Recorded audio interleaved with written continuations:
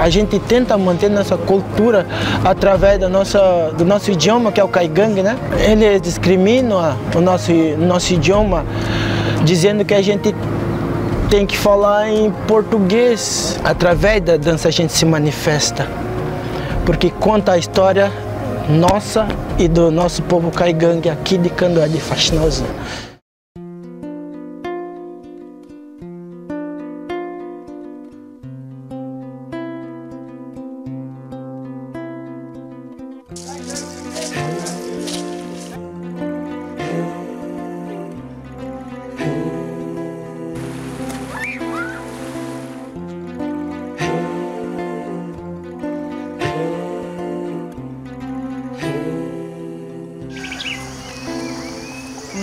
Lá na beira do rio chorando.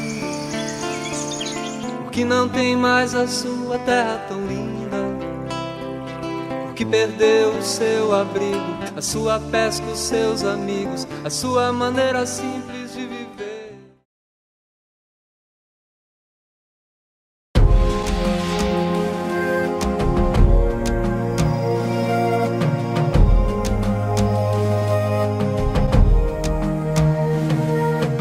Nós estávamos em uma aula de matemática e daí nós estávamos falando né, em caigangue e daí a professora veio e chegou e disse que a gente não poderia falar em caigangue.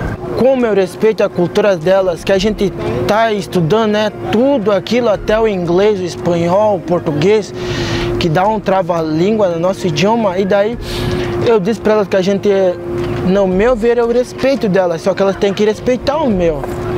E daí a gente tá até com medo de falar o caigangue dentro da sala, com medo que ele aconteça isso de novo, né?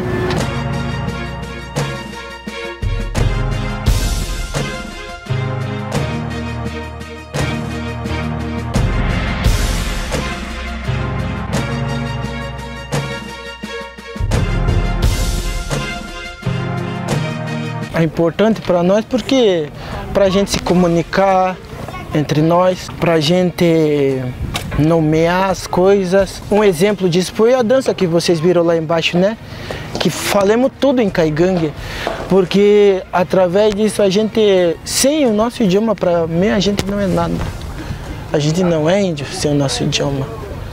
Porque através disso a gente se comunica, a gente faz as pinturas, dança.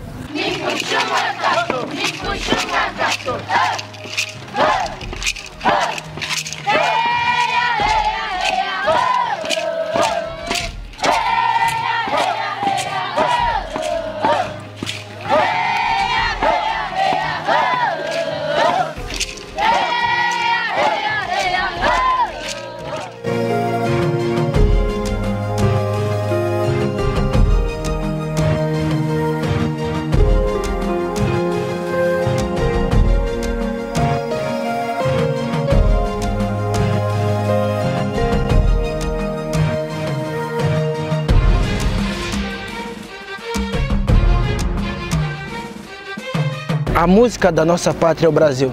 Conta de histórias, né? Histórias e a beleza do nosso país. É assim com a nossa comunidade de Caigangue. A gente traz através do nossa, da nossa dança, do nosso grito de guerra, a importância do Candóia, da nossa aldeia Candóia. Ali, quando se fala em Mincuxum, nós se referimos à destruição que está acontecendo em, em, ao redor da nossa área, aldeia, que é a nossa terra, né? Ali o exemplo do Enxuengaia é, faz menção que era nossa terra uma vez. E eles expulsaram a gente, só que a gente está aqui ainda lutando, lutando por, por nós, por nossos tios, pais, avós, sobrinhos e próximos filhos que virão, né? Para eles ter um legado, né? Para eles não deixar morrer a cultura caigangue. Porque através da dança a gente se manifesta.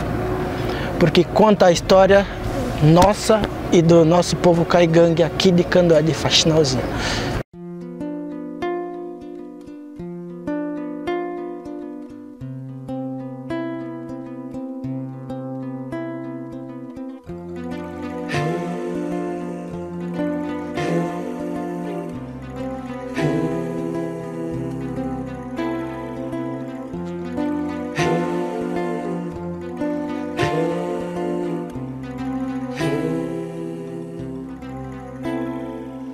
Índia lá na beira do rio chorando, porque não tem mais a sua terra tão linda, porque perdeu o seu abrigo, a sua pesca, os seus amigos, a sua maneira simples de viver. Uma índia lá na beira do rio chorando, porque não tem mais a sua terra tão linda que perdeu o seu abrigo, a sua pesca, os seus amigos, a sua maneira simples de viver.